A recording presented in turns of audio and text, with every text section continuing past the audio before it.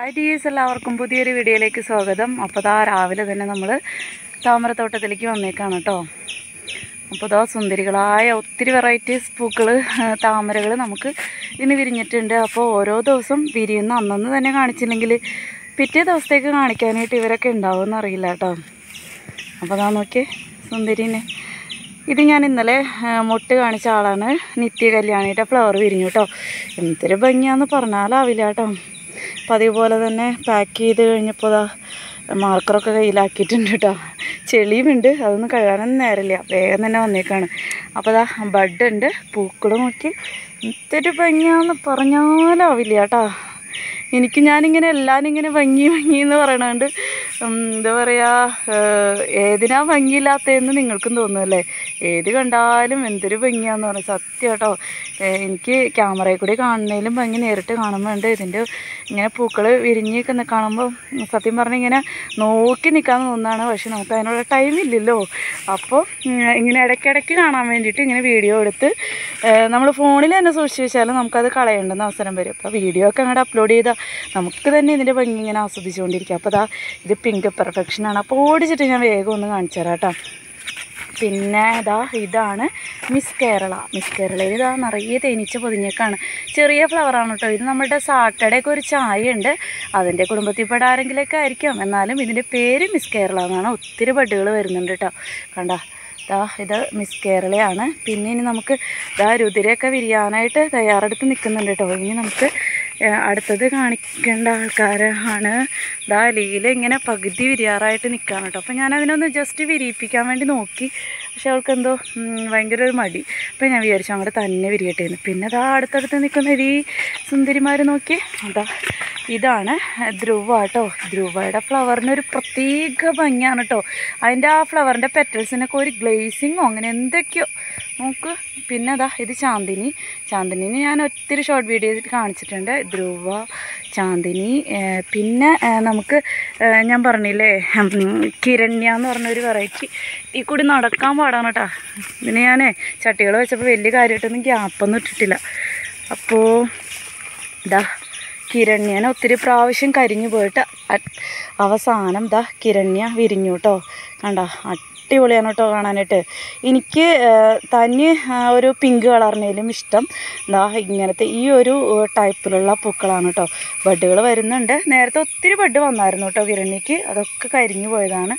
പിന്നെ ഭീമിന് വീണ്ടും ഒരു ബഡ് വരുന്നത്. പിന്നെ സന്തോഷത്തിനോടൊപ്പം ഒരു സങ്കടമായിട്ടുള്ള കാര്യമുണ്ട് കേട്ടോ. അതാ നോക്കി ഒരാൾ നിലത്ത് കിടക്കുന്നത് കണ്ട.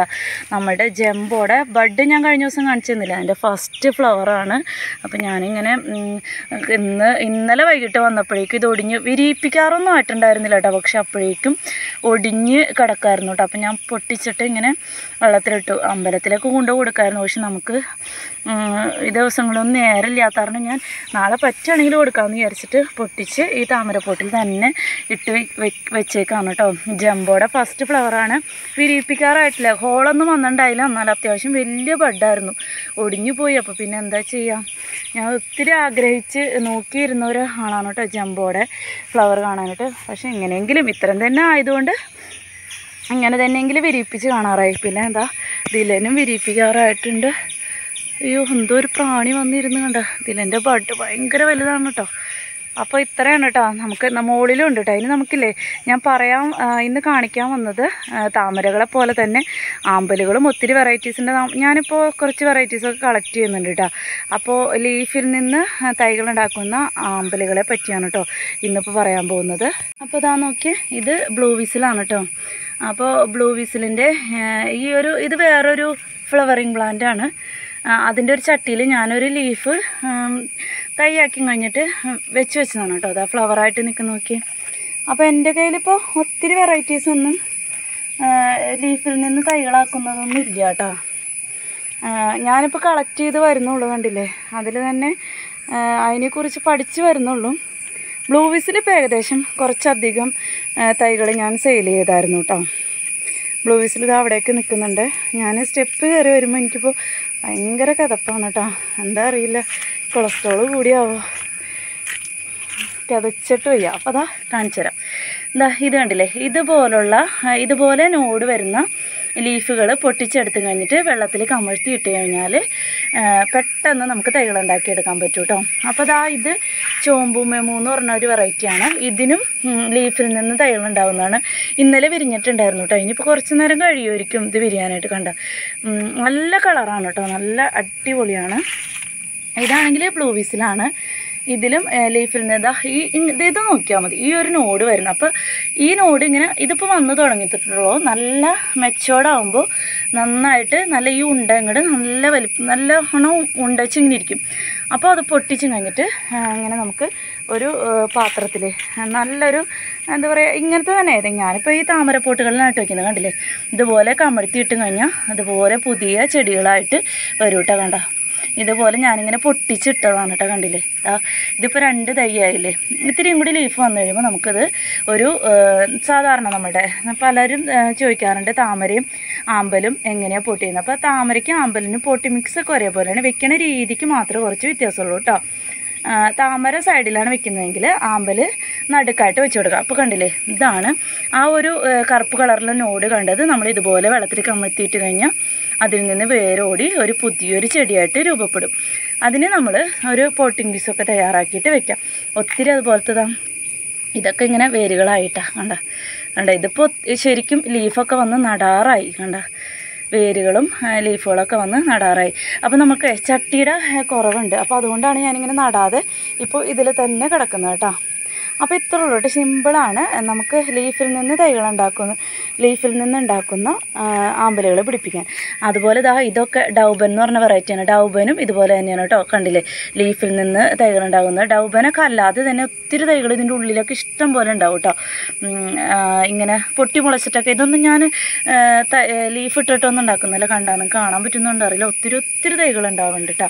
കണ്ടല്ലേ? ഇതാണ് കേട്ടോ ഡൗബൻ എന്ന് പറഞ്ഞ ഫ്ലവർ നമുക്ക് ഒരുപാട് വെറൈറ്റീസ് ഒന്നും നമ്മളുടെ ഇതിലിപ്പോൾ ആമ്പൽ അങ്ങനെ ആ കളക്ട് ചെയ്ത് വരണുള്ളൂ. ആയി ആയി തുടങ്ങുന്നുള്ളൂ കേട്ടോ പിന്നെ ഇതാ നോക്കി നമ്മുടെ മയൂരിയുടെ എന്താ റിപ്പോർട്ട് ചെയ്തതിന് ശേഷമുള്ള ഫസ്റ്റ് ഫ്ലവറാണ് കേട്ടോ കഴിഞ്ഞ പ്രാവശ്യത്തെ മയൂരിയൊക്കെ എനിക്ക് ആലോചിക്കാൻ വയ്യ. അത്ര അധികം പൂക്കളാണ് ഉണ്ടായിരുന്നത്.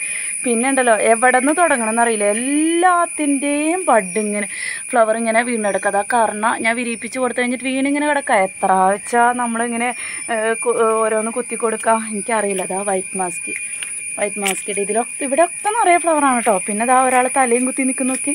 വൈറ്റ് പിയോണി കണ്ണ് നമുക്ക് എല്ലാത്തിലേക്കും അങ്ങോട്ട് എത്തുന്നില്ല കേട്ടോ പിന്നെ ഞാൻ ഇങ്ങനെ തന്നെ നിൽക്കട്ടെ എന്ന് വിചാരിച്ചു. കണ്ട. വൈറ്റ് പിയോണിയാണ് കേട്ടോ ഇത്. അതും ഇങ്ങനെ തലകുത്തി നിൽക്കുകയാണ് ഞാൻ നമ്മുടെ മയൂരിക്ക് ഞാൻ ഒരു പേരക്കൊമ്പ് ഇവിടെ നിന്ന് തന്നെ ഓടിച്ചിട്ട് അങ്ങോട്ട് കുത്തിയിട്ടാണ് ഇതിന്റെ മയൂരിയുടെ ഭംഗി എന്ന് വെച്ചിട്ടുണ്ടെങ്കിൽ എന്റെ ദൈവം ഇനി ഞാൻ പറയുന്നില്ല. എല്ലാത്തിനും ഭംഗി ഭംഗി എന്ന് പറഞ്ഞാൽ ഇതിപ്പോൾ ഞാൻ മുകളിലേക്ക് വന്നേക്കാണ്. പിന്നെ ഇതാ കറണ പിന്നെ എപ്പോഴും ഇങ്ങനെ ഇതാ കാവേരി.